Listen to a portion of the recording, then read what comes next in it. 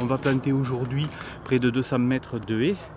Et l'intérêt était de, diversifier les, espèces végétales de manière à ce que ce soit favorable pour l'ensemble des oiseaux, les espèces chassables, mais également les espèces protégées, sans oublier les, chauves-souris. Il y a eu une modification pendant très longtemps des modes de culture qui font que euh, les arbres ont été plus ou moins abattus puisque la, principale ressource de la prade c'était la poche.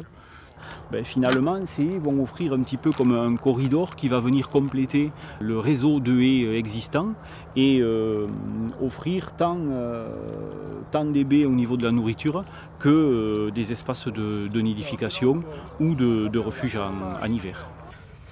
plutôt que de passer au milieu de la prairie, qui risque de se faire prédater donc, ils vont sans doute préférer passer euh, à cet endroit-là, qui est plus abrité vis-à-vis des prédateurs. Et ça permet aussi de ramener ou de sédentariser entre guillemets certaines espèces. Euh. Il faut attendre à peu près euh, deux saisons là, au moins. Après on commencera, vu l'environnement en plus, je pense qu'on commencera à avoir du, des petits gibiers, genre perdrix, etc. autour. Bon, par exemple ici on a, on a du, du prunier mirobolant euh, ensuite euh, euh, du cognacier, de la coronille. Tous les arbres sont dans des godets forestiers, c'est-à-dire ce sont des arbres jeunes qui normalement vont développer leurs racines rapidement. ici on a un poirier par exemple, c'est un poirier à feuilles d'amandier qui est très rustique.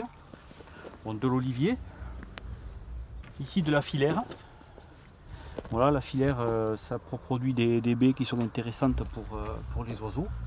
Ici, je pense que c'est un jeune, pommier sauvage. Ensuite, la, haie est tellement bien située que pour l'entretien et la gestion, c'est extrêmement facile.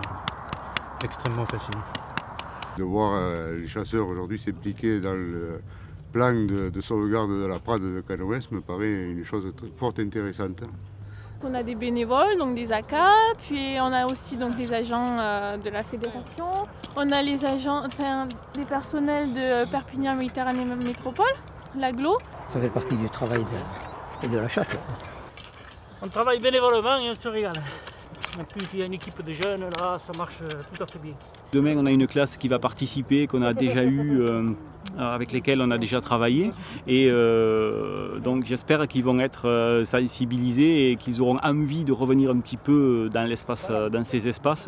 Ils ne sont pas là que pour tuer du gibier, ils sont là aussi pour essayer de réguler. Entre autres, on le voit aujourd'hui avec les sangliers qui posent d'énormes problèmes dont les chasseurs ont une utilité certaine. Et je pense que changement de mentalité qui s'est opéré ces dernières années va dans le bon sens, dans le sens où tous ensemble on arrivera peut-être à préserver quelque chose de, viable sur, cette, sur ce territoire.